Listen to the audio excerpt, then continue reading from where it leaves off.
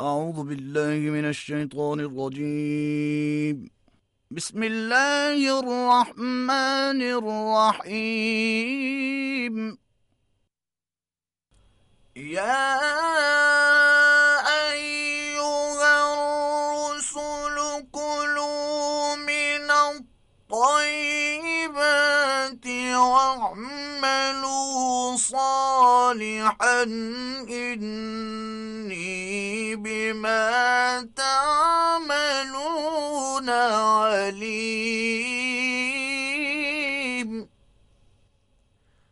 صدق الله العظيم. شروع اللہ کا نام لے کر جو بڑا مہربان، نہایت رحم والا ہے۔ اے پیغمبرو، پاکیزہ چیزیں کھاؤ اور نیک عمل کرو۔ جو عمل تم کرتے ہو، میں ان سے واقف ہوں۔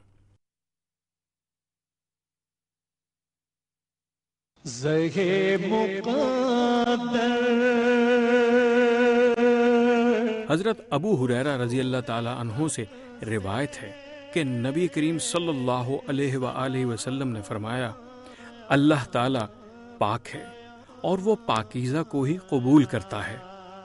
اس نے اس معاملے میں مومنوں کو بھی وہی حکم دیا ہے جو اس نے اپنے رسولوں کو دیا ہے۔ پھر آپ نے ایسے شخص کا تذکرہ فرمایا جو لمبا سفر حج کرتا ہے۔ پریشان بال اور غبار آلود جسم کے ساتھ میدان عرفات میں کھڑے ہو کر اپنے دونوں ہاتھوں کو دعا کے لیے بلند کر کے کہتا ہے، اے میرے رب، اے میرے پالن ہار لیکن اس کی دعا کہاں سے قبول ہوگی جبکہ اس کا کھانا، پینا، لباس اور غذا حرام کا ہے؟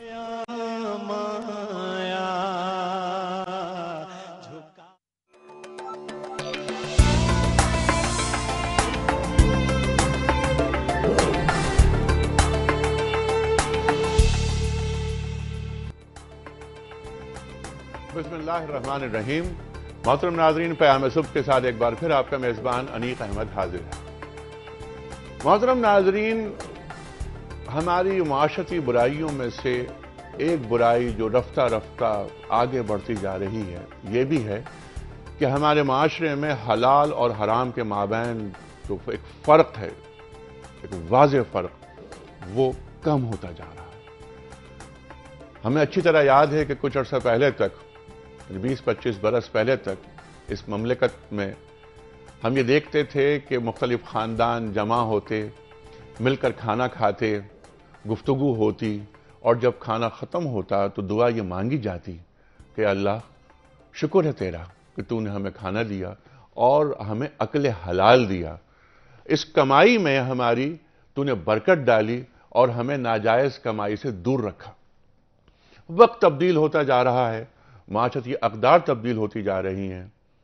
اللہ تعالیٰ نے قرآن کریم میں بارہا اور جگہ جگہ عقل حلال کی بات فرمائی۔ آسمانوں میں رزق کی بات فرمائی کہ تمہارا رزق آسمانوں میں ہے اور تم سے اس کا وعدہ کیا جا رہا ہے۔ اللہ جرز کو میشا بغیر حساب۔ اللہ تعالیٰ رزق دیتا ہے بغیر حساب کے۔ واللہ خیر الرازقین۔ قرآن کریم میں ارشاد ہے کہ اللہ تعالیٰ بہترین رزق دینے والا ہے۔ یہ کیا وجہ ہے؟ کہ ایک مسلم معاشرے میں ہمارا معاشرہ، پاکستانی معاشرہ، مسلم معاشرہ، جس کا اٹھنا، بیٹھنا، نشست و برخاست قرآن کریم کے ذکر سے وابستہ ہے، ہم کلمہ طیبہ کا ورد کرتے ہیں، خود کو مسلمان کہلوانے پر فخر محسوس کرتے ہیں، لیکن ہمارے اعمال میں کیا دین سے محبت جھلکتی ہے؟ اس شکل میں کہ ہم دینی احکام پر عمل کر رہے ہوں۔ خواتین حضرات، اس موضوع پہ ہم بات کریں گے اپنے عہد کے ممتاز علماء سے، اور یہ بات کریں گے، سوالات یہ رکھیں گے کہ کیوں ایسا ہمارا معاشرہ ترتیب پا رہا ہے؟ ہم سے کہاں کہاں غلطیاں ہو رہی ہیں؟ کون سے ایسے ہم سے تھریٹس ہیں ہمارے پاس؟ شیطان تمہیں خوف دلاتا ہے، تمہیں تمہاری تمہیں بھوک کا، تمہارے رزق دروازوں کے بند ہونے کا کیا شیطان کا غلبہ ہم پر اتنا زیادہ ہو گیا ہے کہ ہم نے حلال اور حرام کے مابین جو تمیز ہے، اس کو مٹا دیا ہے۔ خواتین حضرات، تشریف فرما ہے۔ محترم مولانا محمد اسد تھانوی صاحب، ہمارے ملک کے ممتاز عالم دین، کئی کتابوں کے مصنف ہمارے پروگرام میں تشریف لاتے رہتے ہیں اور ہم ہمیشہ مولانا سے سیکھتے رہتے ہیں۔ تشریف فرما ہے۔ ہمارے ملک کے نوجوان اسکالر، محترم مفتی محمد نجیب صاحب، خواتین حضرات عہد کا لمس گفتگو میں جب بھی گفتگو کرتے ہیں تو محسوس یہ ہوتا ہے کہ آپ صرف عہد کے مسائل سے آشنا نہیں بلکہ ان کے حل تک بھی پہنچتے ہیں۔ پاکستان میں آپ نے پڑھا، پاکستان کے باہر پڑھا، آسٹریلیا میں ایک مدرسے کی بنیاد رکھی، تین سال وہاں رہے، اس مدرسے کو قائم کیا اور پاکستان واپس آ گئے۔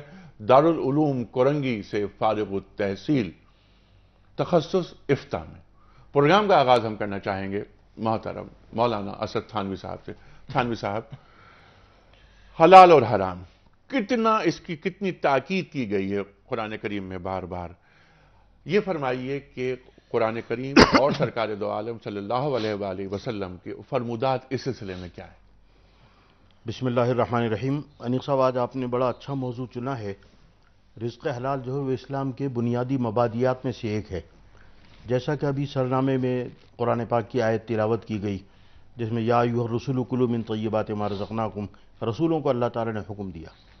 اسی طرح قرآن پاک میں اللہ تعالی نے فرمایا، یا ایوہ الذین آمنوا، لا تاکلوا اموالکم بینکم بالباطل الا ان تکون تجارتا عن تراض منکم۔ اہل ایمان کو مخاطب کر کے اللہ تعالی نے فرمایا کہ لا تاکلوا اموالکم بینکم بالباطل، کہ اپنے اموال آپس میں ایک دوسرے کے باطل طریقے پر مت کھاؤ۔ اللہ ان تکون تجارتا عن تراض منکم۔ ہاں اگر تجارت ہو باہمی رضامندی سے اس سے اموال کا تبادلہ ایک سے دوسرے کی طرف ہو سکتا ہے۔ علماء تفسیر نے قرآن پاک کی اس آیت کی تفسیر میں لکھا کہ باطل سے تمام تقریباً مفسرین نے لکھا کہ باطل سے مراد وہ رقم ہے، وہ مال ہے جو بغیر کسی چیز کے معاوضے میں مل رہی ہو۔ اسی وجہ سے سود کو حرام قرار دیا گیا کہ آپ سو روپے جب کسی کو ادھار دیتے ہیں اور وہ واپس آپ سو روپے لیتے ہیں تو سو روپے تو سو روپے کے بدلے میں ہیں۔ لیکن یہ جو دس روپے اوپر آپ سود لے رہے ہیں یہ کس چیز کے بدلے میں؟ یہ کسی چیز کے بدلے میں نہیں ہے۔ اسی لیے جناب رسول اللہ صلی اللہ علیہ وسلم نے فرمایا کہ اگر گندم کی چند بوریاں آپ اس کے معاوضے میں کسی کو اپنا کھیت دیں کہ میرے کھیت میں جو گندم لگی ہوئی ہے وہ تو یہ بے جائز نہیں ہے۔ کس وجہ سے جائز نہیں ہے کہ جو گندم آپ نے بوریوں میں دی ہے وہ تو تولی جا سکتی ہے ناپی جا سکتی ہے۔ لیکن جو گندم ابھی کھیت میں وہ تولی نہیں جا سکتی اور ناپی نہیں جا سکتی کم بھی ہو سکتی ہے زیادہ بھی ہو سکتی ہے۔ اسی طرح کھجور اور چھوارا جو موجود ہے، اس کو درخت میں لگی ہوئی کھجوروں کے ساتھ اس کی بے جو ہے، جناب رسول اللہ صلی اللہ علیہ وسلم نے منع فرمائی۔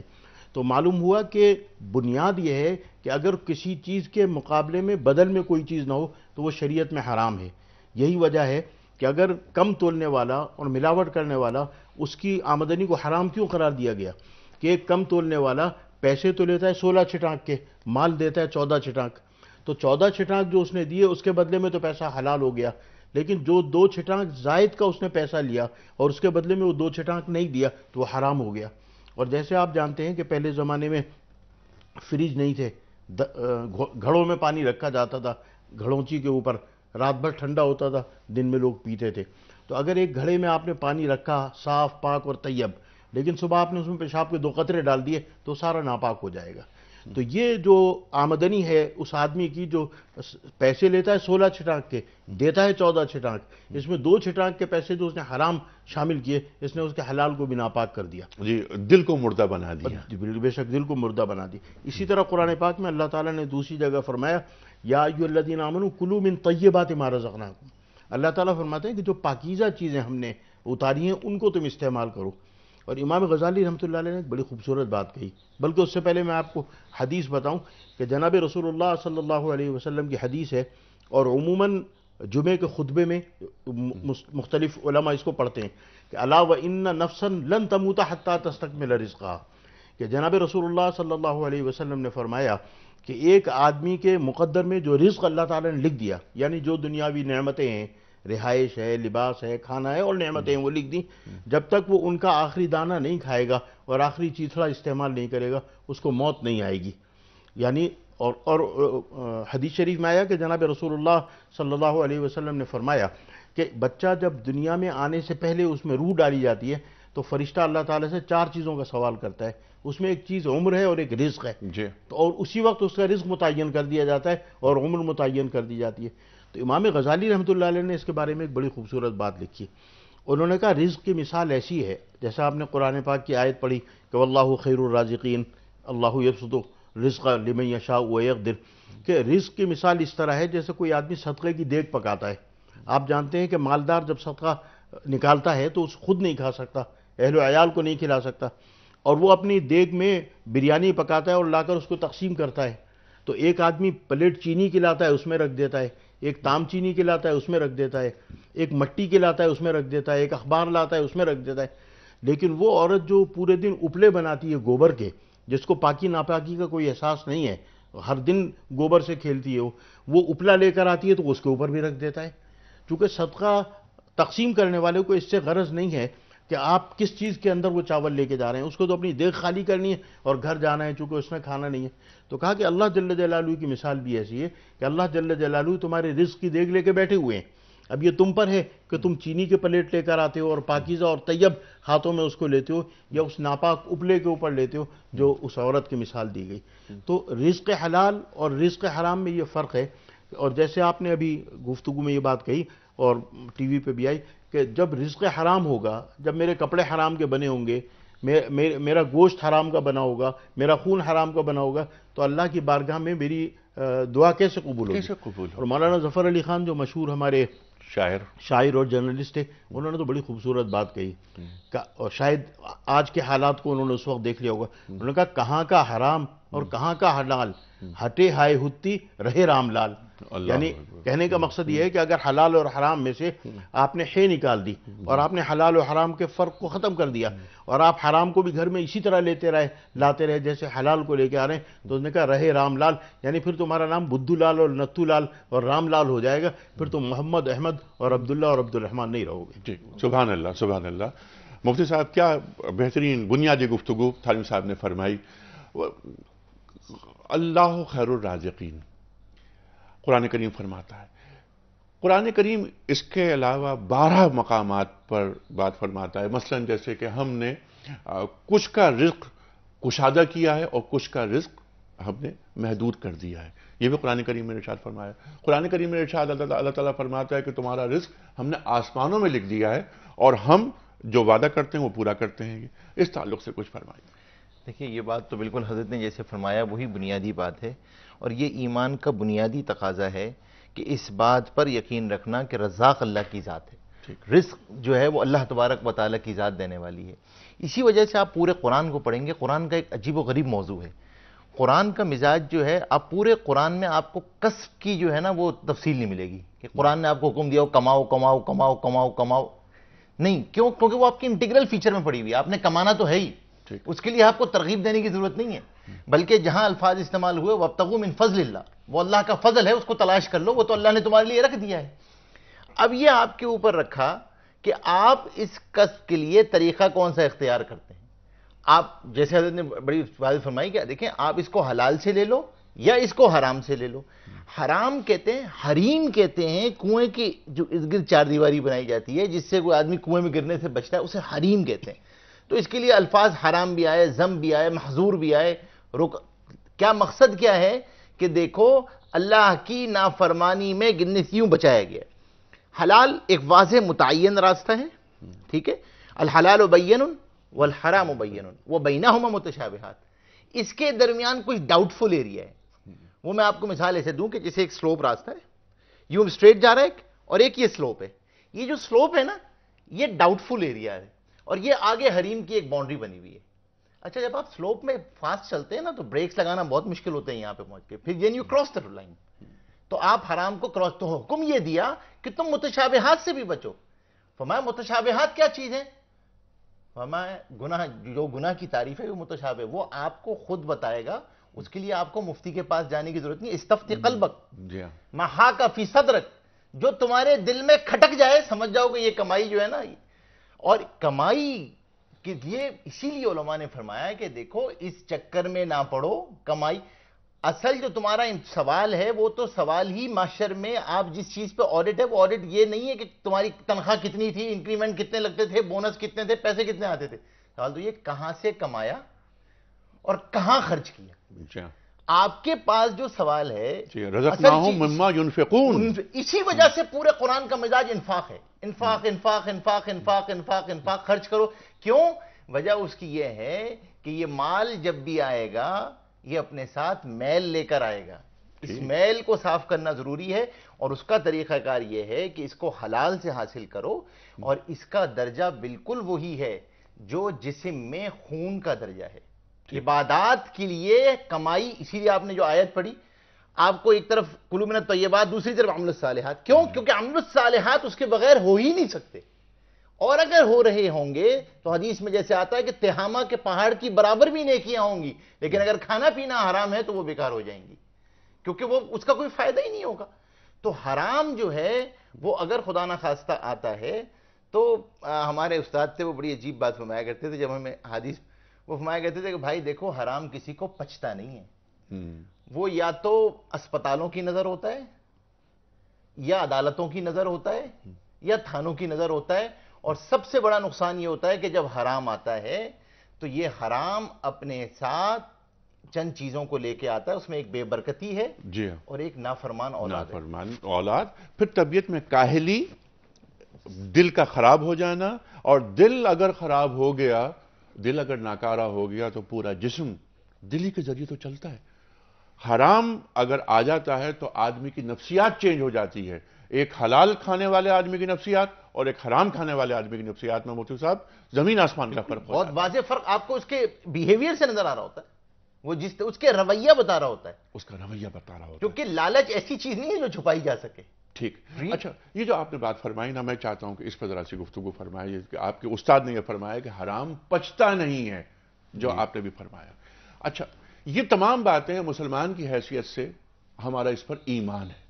اور قرآن کریم کے ارشادات جیسا آپ حضرات نے فرمایا اس کے باوجود وہ یہ کیا بات ہے کہ قرآن کریم کے فرمودات سرکار دو عالم صلی اللہ علیہ وآلہ وسلم کے ارشادات کے باوجود امت مسلمہ میں حرام اور حلال کے مابین جو فرق ہے، وہ کم ہوتا جا رہا ہے۔ جی انیس اصل میں دین سے دوری ہے، قرآن سے دوری ہے، احادیث سے دوری ہے۔ عامت المسلمین کو تو یہ پتہ ہی نہیں ہے قرآن کے اندر لکھا کیا ہے اور احادیث میں لکھا کیا ہے۔ بچہ ہمارا جب اسکول جاتا ہے، پھر کالج جاتا ہے، پھر یونیورسٹی جاتا ہے، نہ ہم پورے اس اس سولہ سالوں میں اس کو نہ ناظرہ قرآن پڑھاتے ہیں، نہ اردو میں احادیث پڑھاتے ہیں۔ اس بیچارے کو تو دین کا پتہ ہی نہیں ہے۔ ہم لوگ مسجدوں میں تقریریں کرتے ہیں نماز جمعہ کے لیے تو جمعے کی نماز کے بعد ستر برس کا آدمی ملتا ہے ریٹائرڈ گورنمنٹ سروینٹ کہتا ہے تھانوی صاحب پہلی دفعہ آج یہ بات سننی ہے۔ وجہ یہ کہ اس کو زندگی میں کبھی سننے یا پڑھنے کا موقع ہی نہیں ملا۔ اچھا تھانوی صاحب یہ تو بات فہم دین کے تعلق سے ہوئی نا۔ ایک تصور دین ہوتا ہے نا۔ ایک مجھے میرا مجھے اللہ تعالیٰ پہ یعنی توحید خالص پر میرا مکمل ایمان ہے۔ یعنی ہر مسلمان کا ایمان ہے۔ سرکار دو عالم صلی اللہ علیہ وآلہ وسلم کے فرمودات پر جان قربان ہے۔ ٹھیک؟ یہ تو آپ بات فرما رہے ہیں تو فہم کی بات ہے تصورات کی بات یہ کہ میں جب اللہ تعالیٰ نے مجھے حکم دے دیا۔ جان قربان ہے عمل نہیں ہے۔ یہ کیوں ہے؟ ایسا کیوں ہے؟ میں نے عرض کیا نا پہلے تو اس اس کی لا علمی پہلی بات تو لا علمی کہ ہمیں قرآن پاک کی وہ آیات جن میں ہمیں رزق حلال بتایا گیا ہے اور جناب رسول اللہ صلی اللہ علیہ وسلم کی احادیث وہ ہمیں اسکول میں کالج میں یونیورسٹی میں پڑھائی نہیں گئی۔ ہمیں پتہ ہی نہیں ہے نمبر ایک۔ نمبر دو بات یہ ہے کہ ہمارے ہمارے شاید کچھ اعتقاد میں کمی ہے کہ معلوم ہونے کے باوجود بھی ہم اس پہ اوپر عمل کے لیے تیار نہیں یہ جو یہ جو پوائنٹ ہے نا تھانوی صاحب، اس پہ میں چاہ رہا ہوں بات کریں۔ اعتقاد میں کمی ہے۔ کیا اللہ تعالی ہمارا کو وقتی طور پر یعنی صبح پانچ بجے تو اللہ ہمارا ہے، لیکن شام کے پانچ بجے نعوذ باللہ اللہ نہیں ہے ہمارے ساتھ۔ یعنی ہم اعتقاد، اللہ تعالیٰ نے ایک بات کہہ دی، اور قرآن کریم جو ارشاد فرماتا ہے، ادخلوا فی السلم کافہ۔ دین میں پورے کے پورے داخل ہو جاؤ۔ تو ہم یہ میٹھا میٹھا لے لیتے ہیں اور ذرا سا جہاں پر یا ایو الذین آمنوا لما تقولون ما لا تفعلون کی جو بات ہے یہ اعتقادات کیوں کمزور ہوتے جا رہے ہیں ہمارے؟ قرآن پاک کی جو آیت آپ نے ابھی تلاوت کی ادخلوا فی السلم کافہ۔ اسلام کہتا ہے اس کے دین میں پورے پورے داخل ہو جاؤ لیکن ہم دین میں پورے پورے داخل نہیں ہیں۔ ہمارا معاشی نظام سیاسی نظام اخلاقی نظام دین سے ہم آہنگی کھاتا ہوا نظر نہیں آتا۔ معاشی نظام پر آپ آ جائیے اللہ تعالیٰ نے فرمایا احل اللہ البیع وحرم الربا۔ اللہ تعالیٰ فرماتے ہیں کہ ہم نے تجارت کو تو حلال قرار کی دیا اور سود کو حرام قرار دیا۔ ابھی ہمارے ملک کا جو نظام ہے، چاہے وہ مرکزی حکومت کا ہو، صوبائی کا ہو لوکل گورنمنٹ کا ہو، کاروباری لوگوں کا ہو، عام لوگوں کا ہو، وہ تمام سود سے مربوط ہے۔ اور سود کے لیے قرآن پاک میں اللہ تعالیٰ نے جنگ کا یعنی اتنی بڑی وعید ہے جو کسی اور چیز کے لیے نہیں ہے۔ تو ہمارا جب نظام معیشت اسلامی نہیں ہوگا، جب ہم معاشی نظام کو اسلام کے قوانین کے مطابق نہیں ڈھالیں گے۔ اور جب ہم معاشی نظام کو قرآن اور حدیث کے اصولوں کے مطابق نہیں ڈھالیں گے، تو آپ مجھے بتائیے کہ پھر برکت کہاں سے آئے گی؟ پھر پھر اس کے اندر اچھائی کہاں سے پیدا ہوگی؟ جس اللہ نے ہمیں پیدا کیا اور جناب محمد رسول اللہ صلی اللہ علیہ وسلم کے ذریعے تعلیمات دے کر دنیا میں بھیجا، جب ہم ان کی تعلیمات پر عمل کرنے والے ہی نہیں ہوں گے، ہم عملی طور پر اس کو نگیٹ کرنے والے ہوں گے۔ آپ بتائیں کہ احل اللہ البیع وحرم الربا یا یا ایو الذین آمنوا لا تاکل الربا اضاف و مضافہ یا جو بھی قرآن پاک میں سود کے بارے میں آیات آئی ہیں، پاکستانی معاشرہ، بحیثیت پاکستانی معاشرے کے، ہم مسلمان، بحیثیت مسلمان کے، اٹھارہ کروڑ کی آبادی کے، اس کے اوپر کتنا عمل کرتے ہیں؟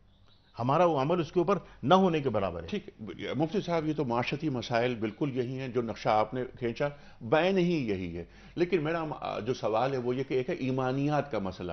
گویا جو ماحول ہے، وہ میری ایمانیات پہ غالب ہو گیا؟ بالکل، دیکھیں وجہ اس کی یہ ہے۔ دیکھیں، ایک بات یاد رکھیے گا، ایک بہت بڑا مسئلہ یہ ہے کہ ایک بہت بڑا مجمع یہ سمجھتا ہے کہ ایمان معلومات کے مجموعے کا نام ہے۔ ایمان معلومات کے مجموعے کا نام نہیں ہے فقط، وہ تو معمولات کا نام ہے نا۔ وہ تو اس ایمان کا اظہار اگر اسلام کی صورت میں نہ ہو تو ایمان تو خالصتاً دل کا فیل ہے نا، اس کا، اس کو تو اظہار چاہیے نا۔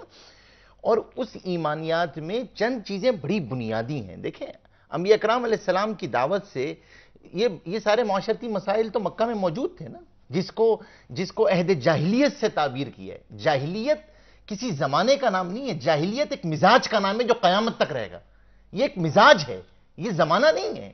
یہ ایک مزاج ہے، یہ رہے گا۔ اس مزاج کو بدلا کیسے؟ اس کے اندر تین چیزیں بڑی اہم ہیں۔ اللہ کی ذات عالی پہ یقین کہ اس کائنات کا کوئی بنانے والا ہے، پالنہار ہے، پروردگار ہے۔ دوسری چیز اللہ کا خوف تیسری چیز اللہ سے ملاقات کا شوق۔ اگر ان تین چیزوں کو آپ نکال دیں، عقیدہ آخرت کو نکال دیں، تو میں حلفن کہہ سکتا ہوں کہ نہ آپ کا انفرادی نظام، نہ معاشرتی نظام، نہ اجتماعی نظام، نہ خاندانی، سب ختم ہو جائیں گے، خود ختم ہو جائیں گے۔ آپ، یہ بالکل ایسے ہی ہے کہ آپ اس برقی رو کو ختم کر دیں تو سارے قوموں میں خود بجھ جائیں گے، آپ کو کچھ کرنے کی ضرورت نہیں پڑے گی۔ یہاں جو چیز روکتی تھی، وہ ہے اللہ کا خوف اللہ سے ملاقات کا شوق۔ جی۔ جیسے حضرت نے بات فرمائی تھی اب میں اور آپ بیٹھ کے آج دیکھیں۔ ویورز سن رہے ہیں ناظرین سب اپنا محاسبہ کریں کہ ہم کتنا تذکرہ کرتے ہیں آخرت کا۔ ہماری نجی چوبیس گھنٹے کی مجلسوں میں آخرت کے تذکرے کتنے فلاں نے یہ کیا فلاں نے یہ کیا فلاں۔ جس کا آپ سے سوال نہیں ہوگا نا آپ سے سوال نہیں ہوگا کہ فلاں وزیر نے آپ سے پوچھ کے مسئلہ کیا تھا یا نہیں کیا تھا۔ آپ کے تو پورا آپ کا آئی ڈپارٹمنٹ آپ کے قبضے میں ہے نا؟ یا وہ آپ کا آئی ڈپارٹمنٹ جو ہے وہ اسلام آباد سے پوچھ کے فیصلہ کرے گا۔ آپ کا ایئر ڈپارٹمنٹ آپ کے قبضے میں نا، آپ کا ہارٹ ڈپارٹمنٹ آپ کے پاس ہے نا۔ آپ کی وزارت داخلہ تو آپ سے پوچھ کے فیصلے کر رہی ہے نا۔ آپ سے سوال آپ کے چھ فٹ جسم کا ہے جس پہ آپ کی حکومت ہے۔ آپ کا ہاتھ آپ کے پاس ہے، آپ کی آنکھ آپ کے پاس ہے، آپ کا کان آپ کی زبان، یہ سب تو آپ کے پاس۔ اس کا ایک دن سوال ون ٹو ون میرا اللہ سے معاملہ ہے۔ ون ٹو ون معاملہ ہے اللہ سے۔ اللہ تبارک تعالیٰ پوچھیں گے، میں نے تجھے یہ دیا یہ دیا یہ دیا، تو نے کیا کیا؟ ٹھیک ہے۔ بالکل، اور اور تو یہ شکایت کر رہا ہے کہ تیری دعا قبول نہیں ہوتی۔ جبکہ جسم میں حرام داخل ہو رہا ہے تو یہ ایک تضاد چل رہا ہے۔ تو جس طرح آپ نے فرمایا کہ اعتقادات اور معمولات دونوں کے مابین ایک ہم آہنگی درکار ہوتی ہے مسلم معاشرے کے لیے۔ بالکل۔ ٹھیک ہے؟ مفتی صاحب گفتگو رہے گی جاری۔ خواتین و حضرات رزق حلال کی برکتیں۔ عقل حلال یہ ہے ہمارا آج کا موضوع۔ اس وقت ہم بریک پہ جا رہے ہیں جب واپس آئیں گے تو ہم سوالات یہ رکھیں گے علماء اکرام کے سامنے کہ ایک جسم جو حلال کمائی کے ذریعے پلتا پھولتا اور پرورش پاتا ہے۔ اس میں اور ایک وہ جسم جو ایک حرام کمائی کے ذریعے پلتا پھولتا اور پرورش پاتا ہے۔ دونوں کے مابین، دونوں کی نفسیات کے مابین کیا فرق ہے؟ بریک کے بعد جب آئیں گے، ٹیلیفون لائنز ہماری کھل چکی ہوں گی اور آج کچھ اعلانات بھی ہیں۔ ان شاء اللہ تعالیٰ وہ ہم پیش کریں گے اس پروگرام کے آخر میں۔ بہت اچھے اعلانات ہیں۔ ہم ایک کوئی کمپٹیشن شروع کر رہے ہیں۔ تفصیلات ہم آپ کی خطوں میں پیش کریں گے۔ آ رہے ہیں ایک بریک کے بعد۔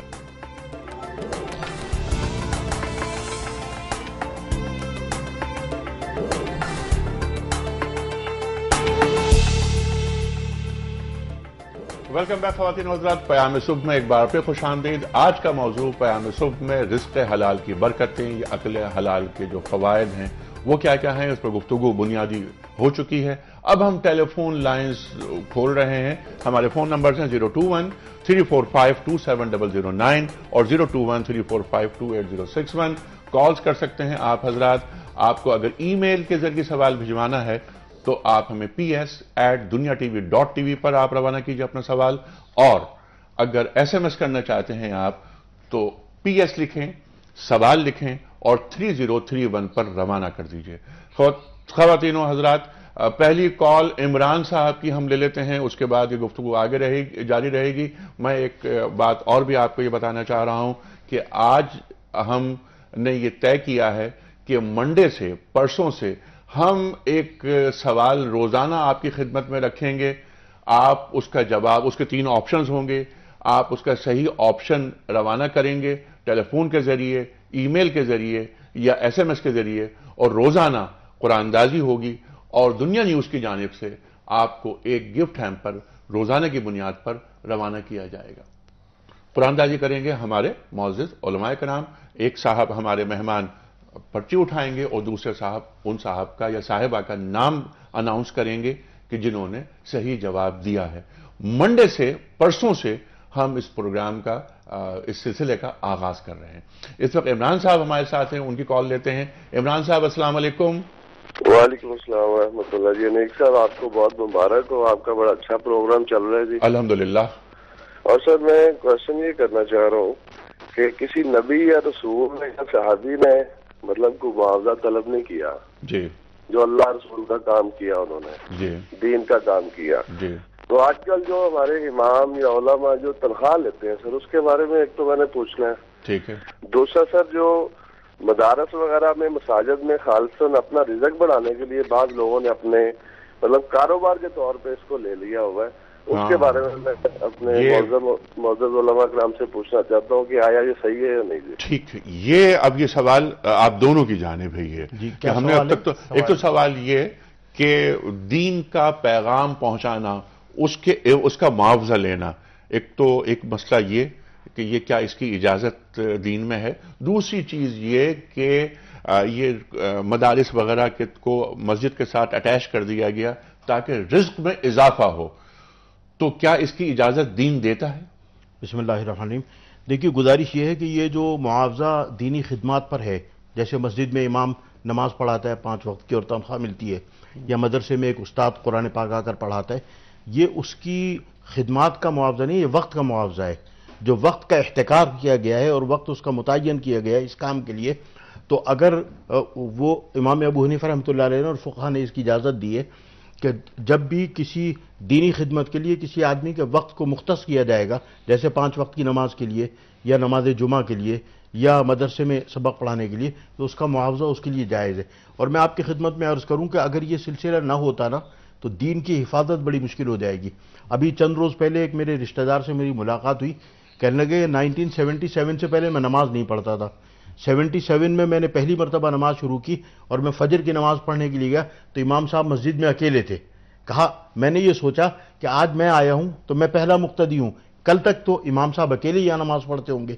تو اگر یہ مؤذن اور امام ہم نہ رکھتے اور یہ قرآن پاک پڑھانے والے ہم نہ رکھتے تو دین کا دین کی جو حفاظت کی گئی ہے وہ موجود نہ ہوتی نمبر ایک۔ نمبر دوسرے سوال کا ان کا جواب یہ ہے کہ جناب رسول اللہ صلی اللہ علیہ وسلم نے مدینہ منورہ میں جب مسجد تعمیر کی تو صفہ کا چبوترا بھی بنایا یعنی مدرسہ بھی قائم کیا جہاں ستر سے لے کے چار سو تک طلبہ رہتے تھے جن جو جو چوبیس گھنٹے وہاں مقیم رہتے تھے اور تعلیم حاصل کرتے تھے اور ان کا نام نفقہ جو ہے مدینہ کے رہنے والوں کے اوپر ذمہ داری۔ تھی تو۔ مساجد یا مدارس سے جو آمدنی ہو رہی ہے ہماری یعنی مذہبی قیادت کو یعنی ہمارے جو علماء کرام کو وہ بالکل جائز ہے؟ نہیں یعنی مساجد اور مدارس سے جو آمدنی ہو رہی ہے وہ خرچ ہوتی ہے مسجد یا مدرسے یعنی وہ جائز ہے جی ہاں، وہ جی ہاں، جائز ہے۔ مفتی صاحب؟ آپ کی بھی یہ رائے؟ بالکل صحیح۔ ٹھیک ہے۔ اچھا یعنی دین کو ذریعہ معاش بنایا جا سکتا ہے؟ آپ بالکل غلط پرسپشن ہے۔ آپ تعبیر غلط ہے۔ اچھا میرا اب میں نے سوال آپ کی خدمت میں ذرا گھما کے کیا آپ جواب دیجیے یہ اختلاف جو ہے نا تعبیر کا ہی ہے۔ جی۔ اور اسے کہتے ہیں پرسپشن کانفلکٹ ٹھیک ہے۔ پرسپشن کانفلکٹ یہ ہے کہ آپ یہ سمجھتے ہیں کہ عالم کو اور جو وہاں پر مدرسے ہیں وہ کوئی ان کی آمدنی کا ذریعہ ہیں۔ وہ ان کی آمدنی کا ذریعہ نہیں ہے دیکھیں وہ تو اپنی آمدنی جو ہے وہ اس وقت کی اجرت لیتے ہیں۔ وہ ایک سروسز ایگریمنٹ ہے۔ سروسز ایگریمنٹ کے اندر کور چیز جو ہے وہ جی ڈی جو ہے وہ بنیادی طور پہ وہ ٹائم ہے جو وہ ایلوکیٹ کر رہے ہیں اس کام۔ کے لیے۔ اچھا۔ وہ کہیں پہ تجارت یہ- کرتے ہیں۔ اچھا ہمارے کوئی عالم دین یہ ہمارے پاس ہمارے جو علماء ہیں وہ جاتے ہیں واز کرتے ہیں ہے نا؟ اور خاص طور پر عید میلاد آیا یا اور ہیں محرم کے مجالس ہوتی ہیں اس پر ایک خاص پیمنٹ دی جاتی ہے۔ کیا یہ پیمنٹ اگر کوئی آدمی اپنی خوشی سے دے رہا ہے تو بالکل صحیح ہے۔ اچھا کوئی اگر خوشی سے دے رہا ہے متعین کر کے متعین جائے۔ کر کے متعین کر کے۔ اگر متعین کر لیا تو یہ کرپشن ہو جائے گی۔ نہیں اس کو دیکھیں کرپشن کہنا جو ہوگا نا وہ پھر بھی مشکل ہوگا۔ ایک آدمی اپنا وقت دے رہا ہے ایک آدمی اپنا وقت ایلوکیٹ کر رہا ہے نا۔ دیکھیں دو چیزوں کو اب ایک ہے دعوت ایک ہے اس لیے بہت بڑا مزاج ہے ایک لوگ نکلتے ہیں لوگ جاتے ہیں دعوت کا ایک مزاج ہے وہ اپنا جان لگاتے ہیں اپنا مال لگاتے ہیں اپنا وقت لگاتے ہیں۔ بالکل صحیح ہے۔ اور یہ بات جو انہوں نے سوال میں بات کہی تھی بالکل صحیح ہے۔ انبیاء اکرام علیہ السلام کی دعوت کا یہ مزاج تھا کہ استغنا کے ساتھ دوسرے تک پہنچانا۔ لیکن چودہ سو سال کی تاریخ یہ ہے کہ اس کے پیچھے کیئر ٹیکر بیت المال ہوتا تھا۔ بیت المال ایسے افراد طے کرتا تھا۔ میں نے اور آپ نے یہ طے کر لیا ہے کہ اپنی آمدنی کا کوئی پیسہ اس کا اعلائے کلمت اللہ کے لیے نہیں لگانا۔ اپنی ذات پہ لگانا ہے۔ ٹھیک ہے۔ تو اب سوال یہ پیدا ہوگا کہ اعلائے کلمت اللہ کا فریضہ کون ادا کرے گا؟ آسمان سے فرشتے نہیں آئیں گے نا؟ ٹھیک ہے۔ اور غیر مسلم یہ کام نہیں کریں گے۔ جی بالکل۔ اور جو ہمارے علماء ہیں اور ہمارے جو پیش امام ہیں یا معزن ہیں جو مسجد سے وابستہ ہیں ظاہر ہے ان کی بھی اپنی فیملی ہے ان کے بھی اپنے اخراجات ہے ہیں۔ اگر آپ اس کے لیے کر دیں گے تو میں کہتا ہوں دین کی آج جو تھوڑی بہت رمک نظر آ رہی ہے اس بر صغیر پاک و ہند میں یہی ایک واضح فرق ہے مساجد اور مدارس کا وجود جو بر صغیر کو باقی دنیا سے الگ میں کرتا آپ ہے۔ کو اس میں ایک بات اور گزارش کر دوں کہ دین ہماری کتنی ترجیح ہے۔ حکومت سندھ کے زیر تحت جو مساجد و اوقاف میں کام کرتی ہیں وہاں وہ امام جو پانچ وقت کی نماز پڑھاتا ہے درس قرآن دیتا ہے درس حدیث دیتا ہے نماز جمعہ پڑھاتا ہے اس کی تنخواہ دو ہزار پانچ سو روپے۔ جی جبکہ ڈرائیور کو سات سو روپے سات ہزار اور بارہ ہزار روپے دیتے ہیں۔ یقیناً۔ کچھ کالرز ہیں ہم چاہتے ہیں ان کو لے لیں۔ اس کے بعد ہم بات کریں گے کہ حلال کمانے والے انسان کی نفسیات کیا ہوتی ہے۔ اللہ تعالیٰ کیا بناتا ہے نفسیات اور حرام کھانے والے کی۔ ان کی نفسیات اور پھر ان کے گھر ان کے بچوں پر ان کی اولاد پر کیا اثرات مرتب ہوتے ہیں اور اس کا سدباب کیسے ہو سکتا ہے؟ کیا ایسا نہیں ہو سکتا کہ جب حرام گھر میں آئے شوہر لائے تو بیوی منع کر دے باپ لائے تو بچے منع کر دیں کہ نہیں آپ حرام مت لائیے ہماری رگوں میں حلال خون آنے دیجیے۔ سوال لیتے ہیں۔ السلام علیکم حفیظ صاحب۔ وعلیکم السلام جی۔ جی فرمائیے۔ جی انیک صاحب میں آپ کا پروگرام دیکھ رہا ہوں۔ بہت خوشی ہو رہی ہے۔ اللہ پاک آپ کو اجر عظیم دے اور آپ اللہ کے ولی ہیں آپ کے پیرنٹس کو آپ کے والدہ صاحب آپ کے والد صاحب کو میرا سلام۔ اور سوال یہ تھا سر کلیئر کٹ مجھے جواب چاہیے۔ ہاں یا نہ میں بینک میں جو ہم پیسے رکھتے ہیں جی۔ چاہے کرنٹ اکاؤنٹ ہو یا سیونگ اکاؤنٹ ہو۔ جی۔ یس یا نو میں جواب دیجیے گا یہ حلال ہے یا حرام ہے؟ نمبر ون ہے۔ نمبر ٹو انشورنس کا جو kindly kindly number one number two insurance کا جو پیسہ ہوتا ہے یہ بھی حلال ہے یا حرام ہے؟ دو باتیں تیسری بات۔ لاسٹ بات تھوڑی سی۔ جی۔ وہ یہ کہ ابھی ہم جو پیسے اپنا کہتے ہیں کہ بینک سے جو پروفٹ ملے گا وہ جو ہے اگر ہم خود خرچ نہیں کریں اللہ واسطے کسی غریب کو دے دیں شادی کرا دیں یہ کر دیں وہ کر جی۔ دیں تو کیا یہ ٹھیک ہے یا نہیں ٹھیک؟ بالکل ٹھیک ہے تین اگر ہم سوال کسی کی ہیلپ کر رہے ہیں کچھ بھی کر رہے ہیں سوال اللہ کو راضی کے لیے کر رہے ہیں۔ اہم سوالات ہیں تینوں۔ ہم رکھتے اچھا ایک کالر اور ہیں تین سوال تو یہ ہو گئے مجھے ذہن میں رکھنے پڑیں گے۔ چوتھا سوال جی کون صاحب بول رہے ہیں؟ السلام علیکم۔ ہیلو السلام علیکم جی میں شاہد بول رہا ہوں راول پنڈی سے۔ جی شاہد صاحب فرمائیے۔ انیک صاحب میرا سوال یہ ہے کہ انسان کوئی بھی جو عمل کرتا ہے وہ علم کی بنیاد پر کم اور یقین کی بنیاد پر زیادہ کرتا بہت اچھی بات۔ ہے اب یہ یقین پیدا کرنے کے لیے ہاں۔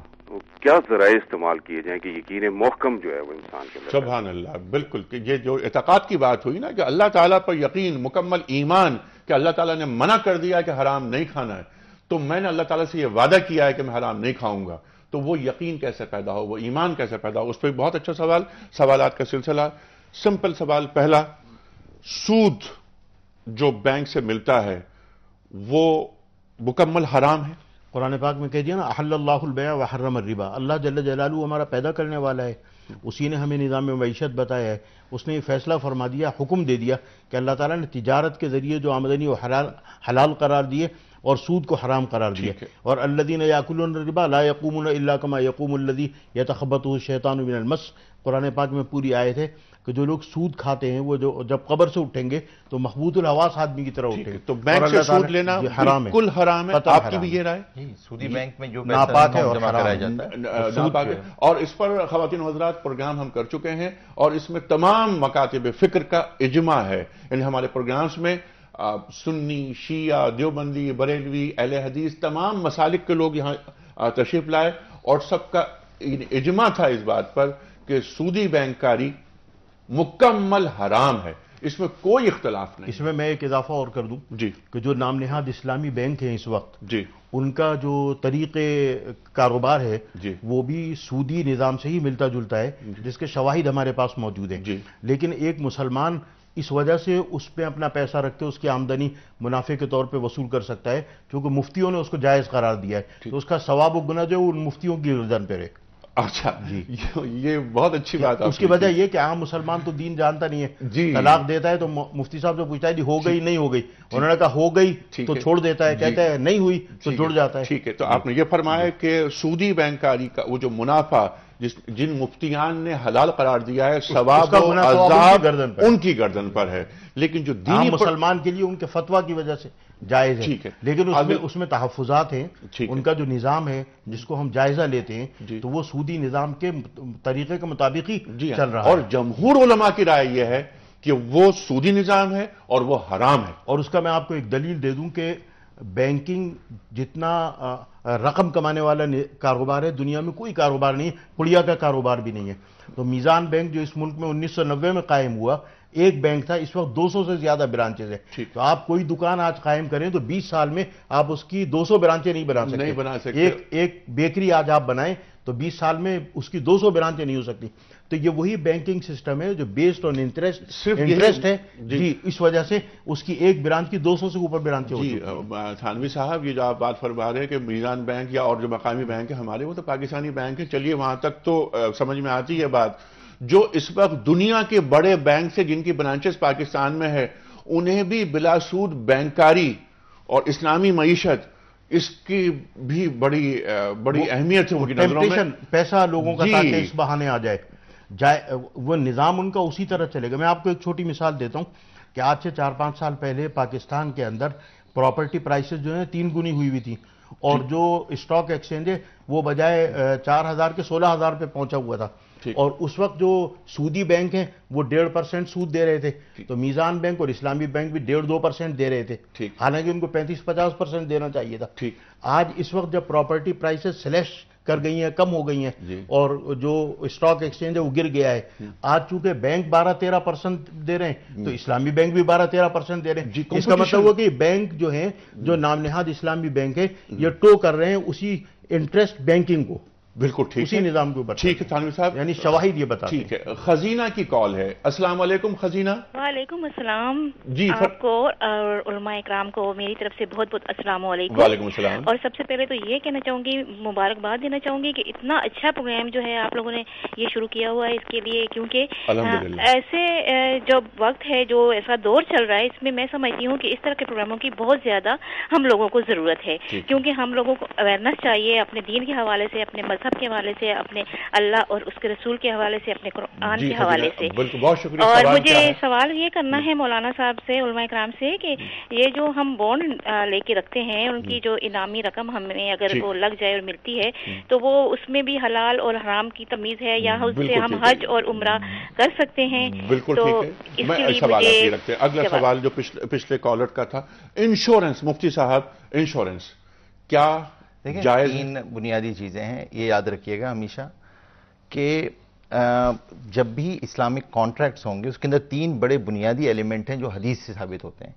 وہ یہ ہوگا کہ آپ جو آپس کے باہمی معاملات میں کوئی انٹرسٹ کی ڈیلنگ نہ ہو ربا نہ ہو بیمار نہ ہو گیملنگ نہ ہو غرر نہ ہو انسرٹینٹیز نہ ہو۔ ٹھیک۔ انشورنس کے اندر یہ تینوں چیزیں پائی جاتی ہیں۔ تو انشورنس کا جو پیسہ ہے، جو انشورنس کا کلیم آپ ریسیو کرتے ہیں، وہ تو حرام ہے، انشورنس۔ انہوں نے خزینہ نے سوال کیا ہے بانڈ نہیں ابھی بانڈ پہ نہیں آ رہے۔ پہلے انشورنس پہ بات کر لیتے ہیں۔ پھر انشورنس کے بعد ایک سوال اور تھا ان کا کہ سود کا جو پیسہ ہے کیا وہ سود کا پیسہ لے کے کسی نیک کام میں لگایا جا سکتا ہے؟ لیکن پہلے انشورنس کی بات۔ انشورنس کو آپ نے بالکل واضح طور پہ حرام قرار دیا۔ حرام بالکل؟ حرام بالکل حرام۔ دونوں علماء کی رائے یہ اس ہے کہ یہ زائد رقم یہ لے رہے ہیں وہ کسی چیز کے بدلے میں معاوضے۔ میں نہیں ہے۔ معاوضے میں نہیں ہے۔ اور پھر اللہ تعالیٰ پہ جو مکمل اعتماد ہوتا ہے اس۔ کو بھی متزلزل کرنے کی ایک کوشش ہے۔ نہیں یہ نہیں میں دو چیزوں کو مکس نہ کریں۔ مجھے یہ کہ اگر میں مر جاتا ہوں میری لائف انشورنس ہے۔ مجھے مل جاتے میرے کیا بات کی جاتی ہے کہ پچاس لاکھ روپے آپ کے بچوں کو مل جائیں گے جب وہ مطلب ان کے مسائل نہ ہوں۔ جیسے ابھی ہم نے بات کی اللہ جرج کو میشا بغیر حساب۔ تو میرے بچوں کی کفالت صاحب- انیس صاحب ایک بات یاد رکھیے گا۔ دیکھیے ایک ہے اس کے کانسیپچولی کسی چیز کا اگر آپ کانسیپچولی کہیں گے نا آپ یہ بتائیے توکل کسے کہتے ہیں؟ توکل یہ ہے کہ اپنے بہترین اسباب کو سامنے رکھ کر نتیجہ اللہ پہ چھوڑ دیں۔ بالکل صحیح بات ہے جزاک اللہ۔ تو یہ جو توکل ہے اس کے لیے اگر کوئی آدمی صحیح طریقہ اختیار کرتا ہے کوئی صحیح طریقہ اختیار کرتا ہے مثال کے طور پہ اب آپ یہ کہیے کہ آپ گھر میں سو رہے تھے دروازہ کھول کے اللہ کی ذات پہ توکل تو کر کے سو مطلب جائز تو ہو گئی سر بات سن میری مکمل ہونے دیں نا۔ جی۔ میری بات مکمل ہونے دیں۔ دیکھیں توکل کسے کہتے ہیں؟ توکل کہتے ہیں یا دیکھیے اسباب کو ترک کر دینا اسباب کو ترک کر دینا جہالت۔ ہے اسباب کو اختیار کر کے یقین ان اسباب پہ کرنا شرک ہے۔ اسباب کو اختیار کر کے یقین اللہ کی ذات علی پہ کرنا توکل اس کا نام ہے۔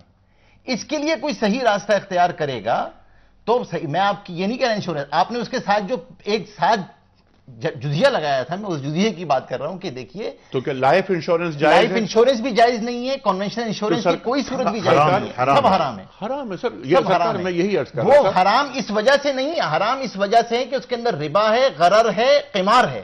ٹھیک ہے۔ اگلی کال لے لیتے جو آپ نے ہیں اس کی علت بیان کی ہے نا اس علت پہ میں بات کر رہا ہوں۔ آپ نے اس کی علت جو بیان کی ہے وہ علت حرام ہونے کی فقہ نے یہ نہیں لکھی ہے۔ ہاں۔ علت یہ لکھی ہے۔ سود ہے قمار ہے غرر ہے۔ جی بالکل ہاں۔ ٹھیک ہے بالکل ٹھیک ہے۔ اس کی روح دیکھنی پڑتی ہے۔ آپ نے وجہ فرمایا۔ مفتی صاحب ایک کالر آخری کال وہ باقی بات بیچ میں رہ گئی کہ وہ سود لے کے اور کسی نیک کام میں لگا جی میں اس پہ آ رہا ہوں لیکن یہ بہت دیر سے ہولڈ کیے ہوئے ہیں ایک صاحب میں چاہتا ہوں۔ جی السلام علیکم۔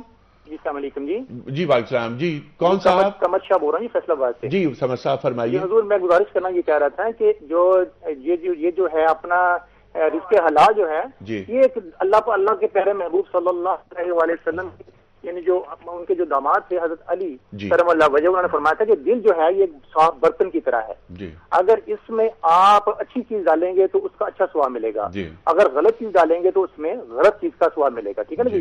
نمبر دو ایک چڑیا تھی اور ایک قلعہ تھا وہ درخت پہ بیٹھے ہوئے تھے اور وہ دونوں باتیں کر رہے تھے کہ ان کے سے لوگ آگے پیچھے بھاگ رہے ہیں یہ کہاں جا رہے ہیں؟ جی۔ وہ چڑیا کہنے لگی کہ یہ کیسے لوگ ہیں؟ یہ جی۔ کدھر جا رہے ہیں وہ کہتے رزق کی تلاش میں ہیں۔ ہاں۔ وہ جب چڑا کہنے لگا کہ رزق کی تلاش میں تو چڑیا کہتی رزق تو ہم بھی تلاش کرتے ہیں۔ ہاں۔ چڑا کہتا ہاں کیوں نہیں؟ ہمارا تقوی اللہ پہ ہے۔ جی۔ جب ہم گونسلے سے نکلتے ہیں تو اللہ کو یاد کر کے نکلتے ہیں اور پھر رزق تلاش کر کے اپنے بچوں کے لیے بھی۔ لے کے آتے ہیں اپنے لیے بھی کما کے آتے ہیں۔ اللہ سے تعلق. یہاں پر قرآن کریم کی بھی ایک آیت ترجمہ اس کا یہ ہے کہ جانور اپنے ساتھ روزی کو اٹھائے نہیں پھرتے، لیکن ہم انہیں روزی فراہم کرتے ہیں۔ جی مفتی صاحب، یہ قرآن کریم کی آیت موجود ہے؟ حدیث میں آتا ہے کہ اگر تم اللہ پہ بھروسہ کرو گے جیسے اس پہ بھروسہ کرنے کا حق ہے تو اللہ تم کو ایسے پالیں گے جیسے پرندوں کو پالتے ہیں تغدو خماسن و تروح بتانن جب وہ اپنے گھونسلوں سے نکلتے ہیں تو خالی پیٹ ہوتے ہیں واپس آتے ہیں تو بھرے پیٹ جی ہوتے ہیں آیت قرآنی بھی ہے۔ اور آیت قرآنی بھی ہے جی۔ اچھا اگلا سوال یہ تھا کہ سود کا پیسہ آنے کے بعد اگر میں کسی غریب کو دے دوں کسی فلاحی کام میں لگا دوں تو تھانوی صاحب کیا اس کی اجازت ہے؟ دیکھیے پہلی چیز تو یہ کہ وہ شریعت کی نظر میں مال نہیں ہے۔ شریعت کی نظر میں مال نہیں ہے اس کو لینے کی اجازت ہاتھ لگانے کی نہیں ہے۔ لیکن اگر کسی وجہ سے اکاؤنٹ کے اندر وہ پیسہ لگ گیا ہے یا آپ نے پہلے کوئی ڈکلیریشن وغیرہ نہیں دیا ہے تو پھر بغیر ثواب کی نیت کے اس کو کسی کام میں ایسے کسی کام میں لگا دیا جائے۔ ہاں۔ ٹھیک ہے۔ بانڈ ایک خاتون کا سوال آیا تھا کہ بانڈ کے حوالے سے۔ کیا بانڈ جائز ہیں؟ اور بانڈ سے ملنے والی رقم سے حج اور عمرہ کیا جا سکتا ہے؟ دیکھیں بانڈ بھی بالکل بانڈ کیا چیز ہے؟ اس کی حقیقت کیا ہے؟ حکومت وقت جب اپنے مصارف پورے نہیں کر پاتی تو وہ عوام الناس سے قرض طلب کرتی ہے۔ اس قرض کے اگینسٹ میں ایک رسید جاری کرتی ہے۔ ٹھیک ہے؟ اور اس رسید پر پھر وہ اضافی رقم دیتی ہے۔ سود اسی کا نام ہے۔ کلو قرض جرا نفن فور ربا ہر وہ قرض جو اپنے ساتھ کسی زیادتی کو کھینچ کے لائے وہ سود۔ تو بانڈ سے حاصل شدہ رقم جو ہے وہ بھی سود ہی کے زمرے میں اور ناپاک ہے۔ اور ناپاک ہے۔ اور حرام ہے۔ اور ناپاک آمدنی سے حرام آمدنی سے عبادات کا کرنا کسی کے نزدیک بھی جائز نہیں عبادات قبول نہیں بلکہ گناہ ہے۔ گناہ ہوتا ہے۔ گناہ ہے۔ اچھا دو منٹ رہ گئے ہمارے پاس۔ میں یہ چاہتا ہوں میں انفاق والی آیات جی میں یہ چاہ رہا تھا انفاق کے ساتھ ساتھ یہ کہ نفسیات کیسے بنتی ہے حرام کھانے والے کی اور حرام کھانے اور حلال کھانے والے کی۔ لیکن میں یہ چاہ رہا تھا کہ اب صرف ایک بات اور آخری بات آپ کی فرما دیجیے کہ جن گھروں میں یعنی خدا نہ خواستہ حرام آ رہا ہے ان گھروں کے جو مکین ہیں ان کی ذمہ داری دین ان پر کیا تفویض کرتا ہے؟ مثلا ایک شوہر لا رہا ہے حرام گھر کا ماحول بڑا اچھا ہو رہا ہے، مالی اعتبار سے چیزیں آ رہی ہیں، یا یعنی تعیشات کی چیزیں موجود ہو رہی ہیں۔ تو بیوی کا کام کیا یہ نہیں ہے تھانوی صاحب کہ منع کر دے شوہر کو کہ مت لاؤ؟ بیوی کا کام بھی ہے، ماں باپ کا کام ہے بیٹے کو روکے، اولاد کا کام ہے باپ کو روکے۔ چونکہ معاشرہ گھر جو ہے پورا خاندان اس سے پل رہا ہے۔ اس میں ہمیں اپنے مومن ہونے اور مسلمان ہونے کا، اس میں ہمیں اس بات کرنا چاہیے اور سامنے لانا چاہیے اس بات کو۔ بے شک بیوی کی بھی ذمہ داری ہے، اولاد کی بھی ذمہ داری ہے، اور اگر بیٹا لا رہا ہے تو ماں باپ کی بھی ذمہ داری ہے کہ اس حرام کو اپنے گھر میں آنے سے روکیں، جیسے ناپاک چیز کو گھر میں آنے سے روکتے ہیں۔ ٹھیک ہے۔ مفتی صاحب، میں چاہتا اس پہ آپ کی بھی رائے آئے، لیکن پروگرام کا وقت ختم ہو گیا۔ انشاءاللہ تعالی پھر تفصیل سے بات ہوگی کسی اور موضوع پر۔ خواتین و حضرات پروگرام ہم نے کیا عقل حلال، اس کی کیا برکتیں ہوتی ہیں؟ بہت ساری گفتگو ہوئی اور یہ بات بالکل طے ہے کہ ہمارا رزق اللہ تعالیٰ کے ہاتھ میں ہوتا ہے۔ ہمیں رزق وہاں سے ملتا ہے جہاں ہمیں گمان بھی نہیں ہوتا۔ اللہ تعالیٰ کی رضاقیت میں شرک نہیں کرنا چاہیے، یہ اللہ تعالیٰ کے کام ہے۔ اللہ تعالیٰ کو اپنے کام کر دینے چاہیے۔ اور آخری بات یہ کہ ہم پرسوں سے انشاءاللہ تعالیٰ ایک نئی چیز شروع کر رہے ہیں۔ جو ایک کوئز کمپٹیشن ہے، ہم ایک سوال دیں گے، تین آپشنز دیں گے، ان پر جو جو صحیح جواب ہوگا، اس کو دنیا ٹی وی ایک انعام دے گا، گفٹ ہیمپر دے گا۔ اور خواتین و حضرات، آخری بات یہ کہ بہت سے سوالات آپ لوگوں کے آتے ہیں، ان سوالات کو ہم یکجا کر رہے ہیں اور ہفتے کا ایک دن ہم نے اب مختص کر دیا ہے صرف آپ کے سوالات کے لیے اور ان کے جوابات کے لیے، اور وہ دن ہوگا ہر ہفتے کا آخری دن یعنی سیٹرڈے ہفتے کا دن۔ کمنگ سیٹرڈے سے ہم اس سلسلے کا آغاز کریں گے۔ اپنے میزبان انیق احمد کو اجازت دیجیے۔ خدا حافظ۔